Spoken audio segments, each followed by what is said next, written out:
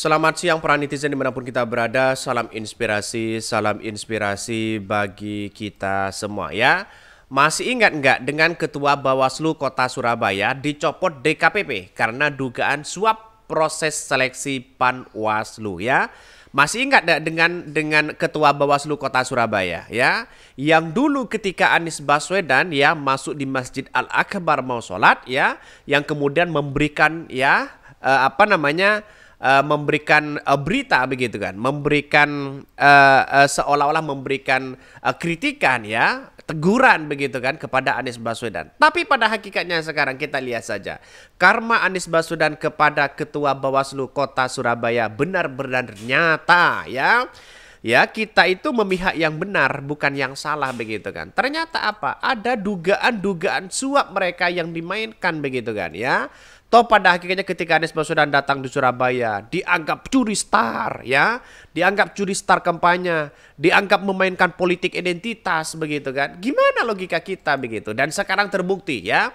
Bahkan ya eh, apa namanya Kota Bawaslu Kota Surabaya dicopot DKPP karena dugaan suap proses seleksi Panwaslu ya. Sekarang masyarakat tidak bodoh mereka begitu kan. Kalau dulu iya, tapi sekarang tidak bodoh mereka begitu kan ya main suap sana sini kapok begitu kan.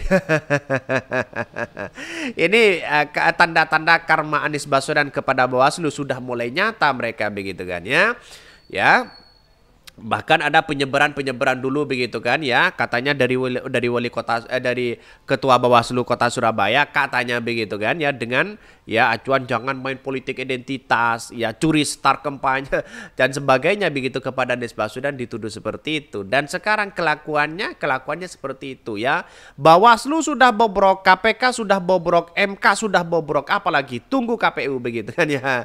Jadi artinya apa? Banyak yang bermasalah ini Bawaslu begitu kan ya. Bayangkan begitu kan ya. Kemarin itu sudah ada kejadian kok begitu. Ke mana?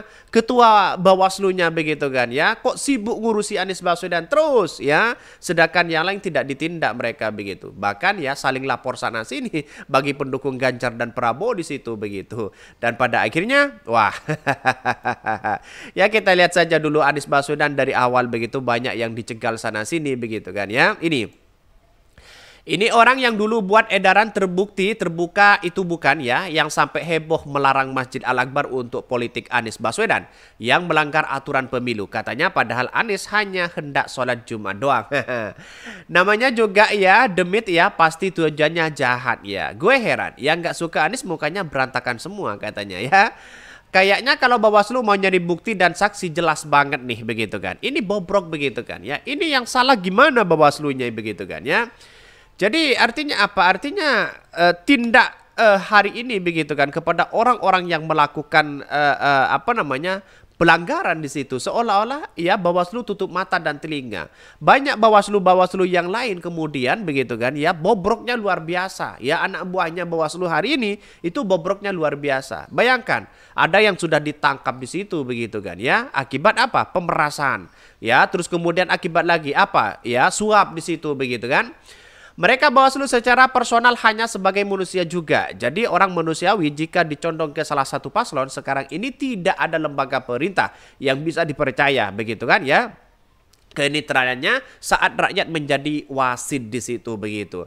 Ya menurut saya pribadi pecat saja begitu kan ya, bubarkan saja Bawaslu ini. Toh pada akhirnya tidak ada tidak ada dampaknya kepada masyarakat begitu kan ya tidak ada faidahnya juga sama eh, sama institusi kita malah buang-buang anggaran mereka begitu Bayangkan Bawaslu yang di bawah gimana begitu kan.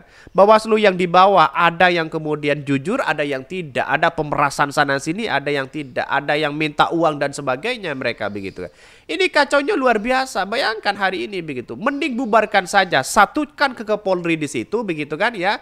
Menjadi unit untuk eh, apa namanya? Untuk menjadi uh, bentuk ya lembaga di di apa namanya di Kapolri situ untuk menangani pemilu ini begitu kan atau pilkada ini begitu. Selesai mereka lebih dipercaya ya, lebih punya kekuatan, lebih uh, punya power begitu dibandingkan dengan Bawaslu.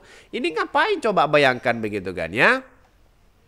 Bahkan ya di satu sisi mengatakan mau ke masjid dilarang. Habis doa amin saja malah salah katanya ya. Sebaiknya Bawaslu dan KPU ya khusus anggaran Gejinta ya uh, dikeluarkan setelah pemilu sukses selesai. Saya kira bubarkan saja. Ngapain masih nunggu sana sini begitu kan ya?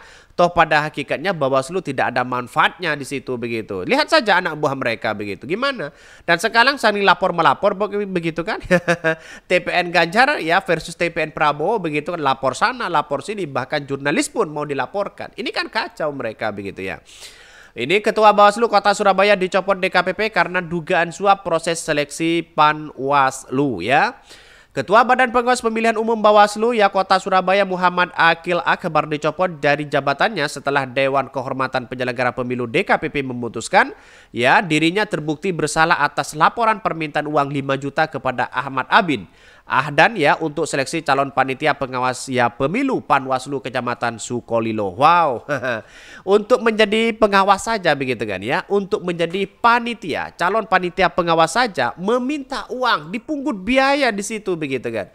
Jadi ini kan kacau mereka begitu. Gimana begitu kan? Semuanya kalau satu orang ya menjadi pengawas pemilu, menjadi panitia pengawas pemilu, diminta 5 jutaan, kaya mereka begitu kan ya.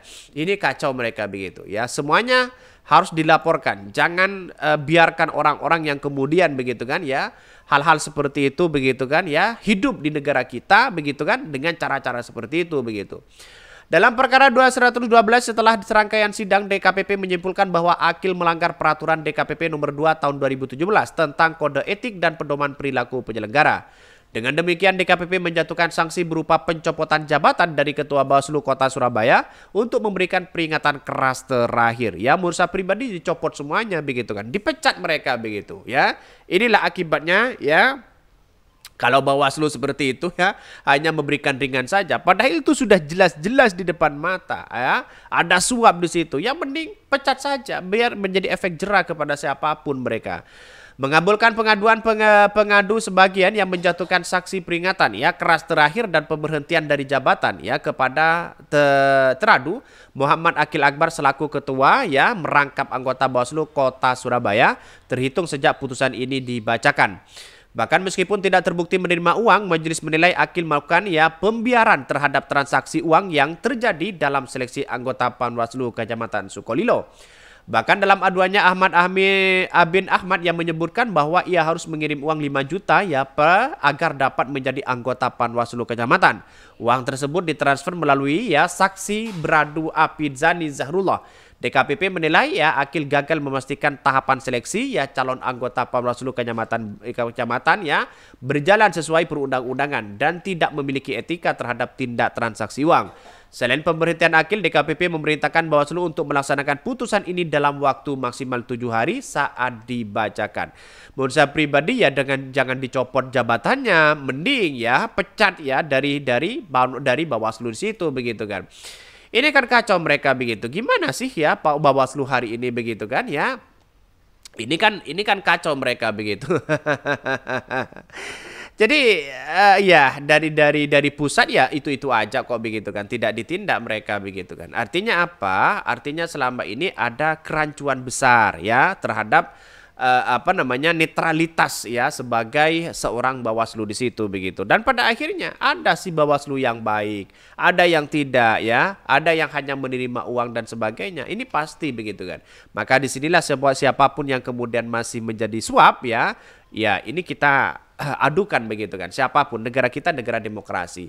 Mungkin itu ya yang kami sampaikan. Ya tonton terus channel Hodari Podcast Rakyat ini karena ada berita-berita menarik dan viral setiap harinya. Salam para netizen salam inspirasi salam inspirasi bagi kita semua. Jangan lupa di subscribe channel YouTube Hodari Podcast Rakyat ini